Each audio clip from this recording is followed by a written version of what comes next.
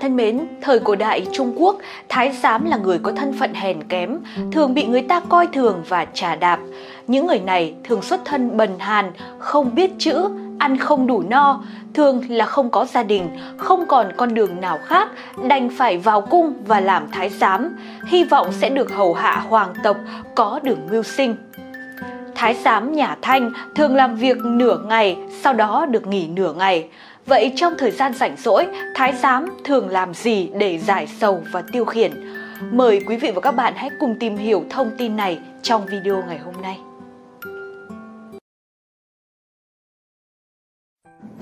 Giật mình với thú tiêu khiển không bình thường của thái giám trong cung cấm xưa.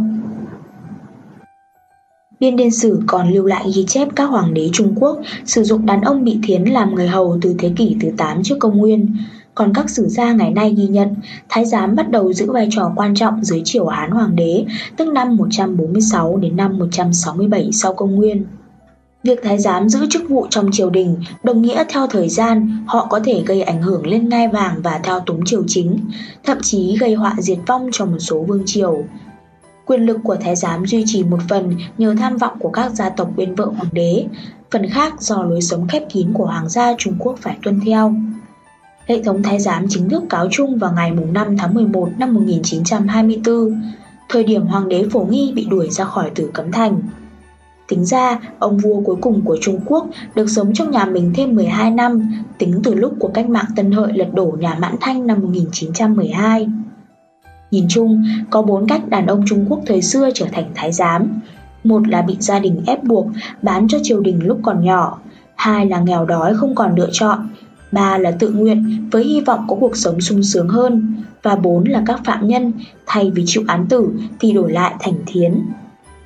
Từ khi tịnh thân tới khi làm việc trong cung, các thái giám Trung Quốc không chỉ khiếm khuyết về mặt thể xác mà còn bạc nhược, khốn khổ về phương diện tinh thần. Thái giám mày dâu nhẵn nhụi, ít hầu không nổi, tiếng nói nhỏ nhẹ, nói chuyện ẻo lả như phụ nữ, cử chỉ điệu bộ toát lên vẻ ái nam ái nữ, trở thành người trung tính. Trong sử sách và dân gian, người ta còn gọi thái giám là hoạn quan, công công, nội quan, nội thần, nội giám.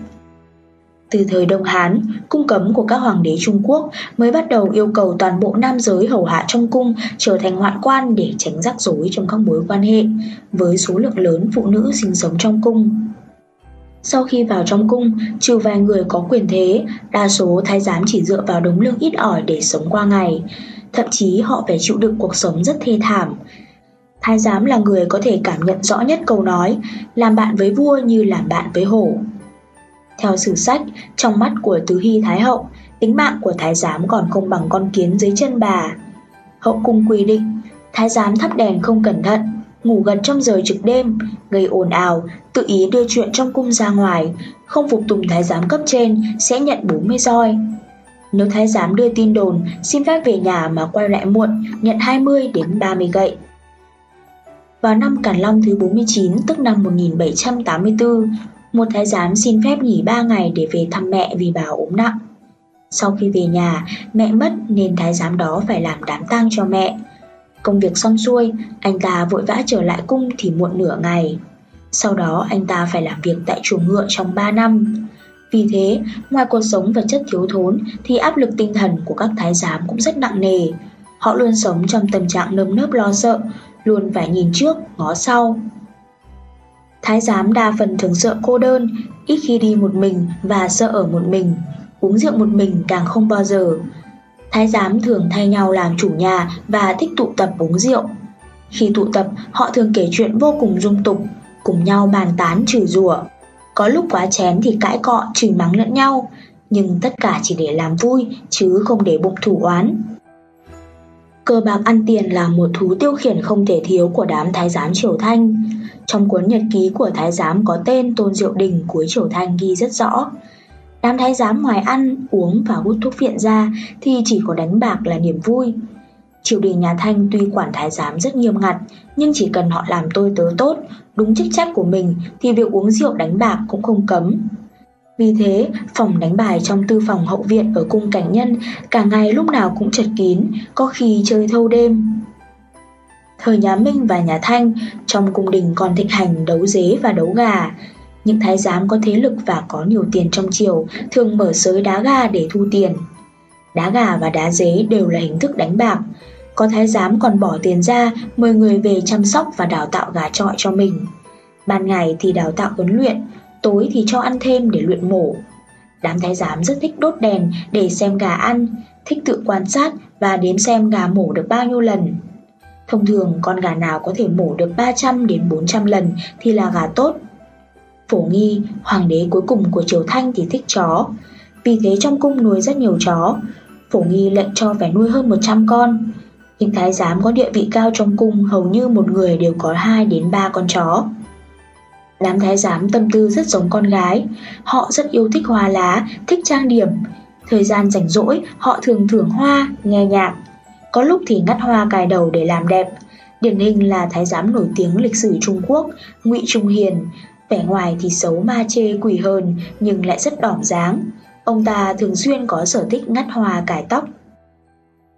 Ngoài cờ bạc hay một số thú chơi tào nhã kể trên ra, trong cùng nhà Thanh còn thịnh hành hút tẩu, hút thuốc lào. Cuối triều Thanh, đám thái giám đùa nhau hút thuốc viện. Triều đình đã ra lệnh cấm trong cung, nếu thái giám nào tàng trữ, cất giấu bộ dụng cụ hút thuốc sẽ bị xử tội. Điều khiến mọi người vô cùng ngạc nhiên là đám hoạn quan thứ cần biết họ không biết, cần sức khỏe không có sức khỏe, cần khí khái cũng không có khí khái, nhưng họ lại được hoàng thượng vô cùng sủng ái, tin tưởng. Thậm chí rất nhiều công công còn nắm trọng quyền trong tay, điều khiển cả văn quan, võ tướng. Vậy vì sao thân là thái giám lại được hoàng thượng vô cùng tin dùng và trao trọng quyền lớn trong triều? Lý do đầu tiên là ngay từ bé, hoàng thượng thường gần gũi thái giám, nhũ mẫu hơn là phụ hoàng, phụ mẫu.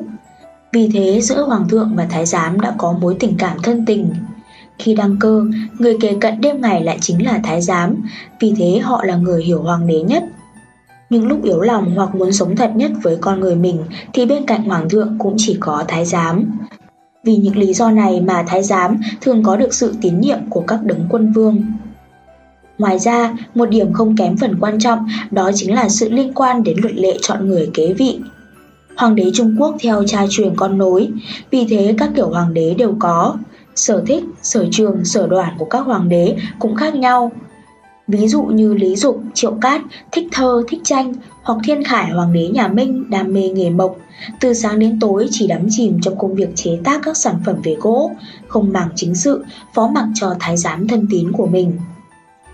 Nhưng thông thường mà nói, ngôi hoàng đế chỉ có một mà người mơ được ngồi trên ngai vàng không hề ít. Giữa chốn đầy dễ hiểm nguy và các cuộc tranh giành quyền lực khốc liệt, hoàng thượng lại chọn tự nguyện trao quyền lực cho thái giám thân cận mà không phải các văn quan võ tướng nổi tiếng trong triều. Điều này hoàn toàn do quy tắc và tiêu chuẩn cạnh tranh quyết định. Những đấng quân vương tuy bản thân không thích chính trị, không quan tâm triều chính, nhưng không có nghĩa họ không thích làm hoàng thượng và đồng ý nhượng hoàng quyền cho người khác. Nếu họ chọn một văn quan hoặc một võ tướng có năng lực thay họ điều khiển triều chính, thì trong các cuộc chạy đua quyền lực rất có khả năng hoàng quyền của mình sẽ rơi vào tay người khác. Cho nên thà chọn một kẻ thấp hèn, vô năng không quyền uy như thái giám còn hơn. Hơn nữa, thái giám không có hậu đại, phần lớn sống cô độc, không gia đình họ tộc. Họ dựa vào việc hầu hạ hoàng gia để mưu sinh nên thường ít dã tâm, toàn tính và ít tham vọng hơn người thường. Bản thân họ phần lớn ngu dốt, tính nhẫn nại cam chịu nên cũng dễ dàng điều khiển hơn. Đây chính là những lý do có thể hiểu vì sao thời cổ đại rất nhiều thái giám được sủng ái, thậm chí là trọng thần trong triều. Nhiều tài liệu ghi chép lại, hoạn quan thường thay mặt vua đi ra ngoài cung để tuyển chọn mỹ nhân phục vụ cho những trò chơi chăn gối của hoàng thượng.